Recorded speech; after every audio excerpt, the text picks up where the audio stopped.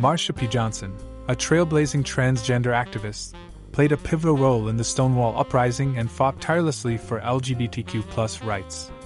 Her advocacy for transgender rights left an enduring legacy. Learn more about the life and enduring influence of Marsha P. Johnson, a pioneer who sparked change and championed equality for all.